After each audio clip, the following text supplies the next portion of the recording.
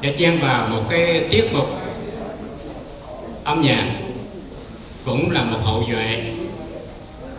Và cái bài mà chúng ta sẽ nghe là bài nhớ Sài Gòn.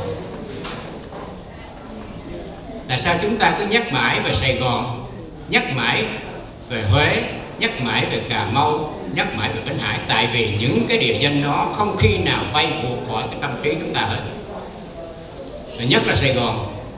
Bài thơ này thì được nhạc sĩ Đình Đại phổ nhạc từ Paris và đã chuyển lưu qua rất nhiều nơi đã nghe được. Và hôm nay Đỗ Như là cũng là một hậu duệ của Việt Nam Cộng Hòa sẽ hát bài nhớ Sài Gòn.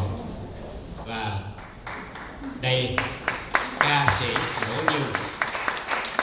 Cảm ơn cảm ơn thưa con cảm ơn chú và con cảm ơn chú đã tin tưởng con giao cho con một bài hát.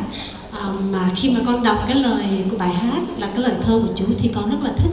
Cho nên con mới xin phép chú cho con được trình bài nhạc phẩm này. Mặc dù đây là một bài hát rất là mới đối với con thì con nói trước là có gì chú tha thứ cho con.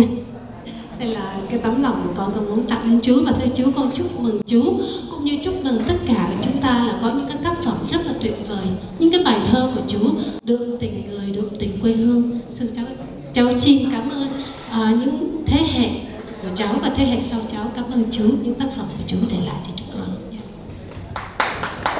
Có một điểm nó đặc biệt là khi đưa vào chương trình văn nghệ của cái chương trình này, thì Đỗ Như có email cho tôi.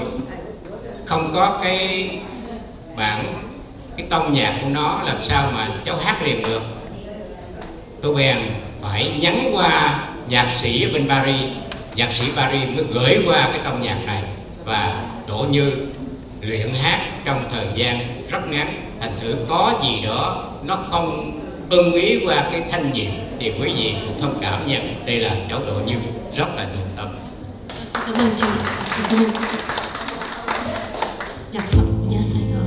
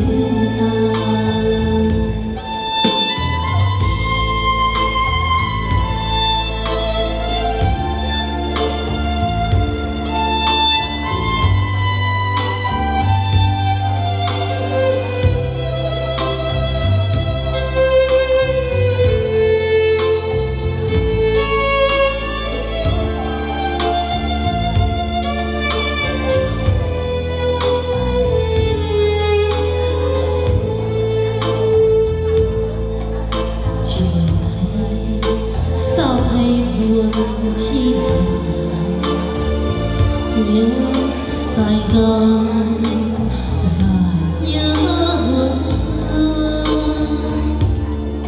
Tiếng ve kêu, âm vang, tình rất lạ đôi tay đàn võng đau đường.